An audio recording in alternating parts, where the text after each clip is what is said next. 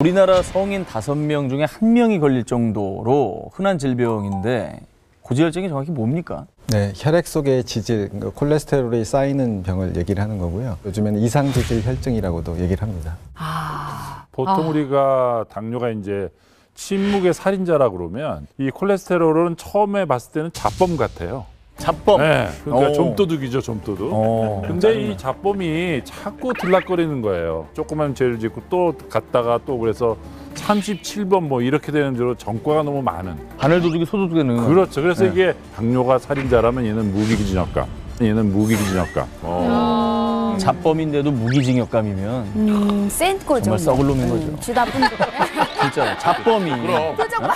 아 잡범이 무기징역을 당하는 그러네요. 센 겁니다. 그래. 근데 그 피 속에 콜레스테롤이 많으면 이게 혈관이 막힌다고 하잖아요. 그게 맞는 건가요? 네, 이것은 고지혈증의 진행 과정을 보여주는 혈관 모형인데요. 여기 보시면 노란색으로 표시된 게 혈관 내에 쌓인 기름을 보여주는 것이고 이런 기름이 점점 쌓이게 되면 실제로 피가 지나는 통로가 좁아지고 결국에는 막히게 됩니다. 아. 그리고 혈관이 막히면서 또 혈관이 딱딱해지는데 이런 과정을 동맥경화증이라고 합니다. 쌓여 있는 상태에서는 대부분 무증상이다가 거기에 이제 술이나 아니면 담배, 말씀하신 운동 부족 이런 것들이 합쳐지면서 그 쌓여 있던 이제 그 동맥경화 찌꺼기들이 떨어져 나가면 뇌로 가면 이제 뇌경색이 되는 거고 그 심장으로 가면 이제 심근경색이 되는 거고요. 다리 쪽으로 가면 다리 혈관이 막혀서 이제 심한 경우는 절단을 하게 되는. 것까지 아, 또 절단.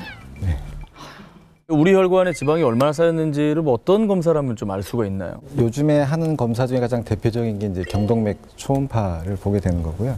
지금 보시면 딱 보이네 막힌 게. 오른쪽에 보는 게 정상적인 혈관이고요. 그 붉은색으로 보이는 게 실제 이제 혈관이 지나가는 모양인데 정상적인 혈관은 아주 깨끗하게 잘 지나가고 있고 왼쪽에 보이는 게 이제 그 중앙에 보면 볼록하게 튀어나와 있는 부분이 실제 이제 기름 찌꺼기가 껴서 지나가는 혈액 속도가 이렇게 좁아진 것처럼 보이는 거죠. 야 절반도 안 지나간다. 아니 피에 지방이 많으면 일단 피가 끈적끈적한 거잖아요. 그래갖고 이렇게 다니기가 힘들어진다는 소리잖아요. 그렇죠? 네, 맞습니다. 그래서 피가 실제적으로 끈적끈적하게 되면 체열을 했을 때 피가 굳어서 다시 체열을 하- 해야 되는 그런 경우도 있고 그 체열한 피를 이렇게 내려다 보면 피가 그 지방처럼 굳어서 하얗게 굳은 모습을 볼 수도 있습니다. 피가 하얗게 된다고요? 네네네. 지방 기름기가 다 굳어서. 예. 혹시 우리나라 10대 사망 원인이 뭔지들 아십니까? 10대예요? 열 개. 네, 10개. 그 당뇨. 교통사고. 암, 암, 암이 현접 씨가 말씀하신 것처럼 암이 10대 사망 원인의 1위를 차지하고 있고요.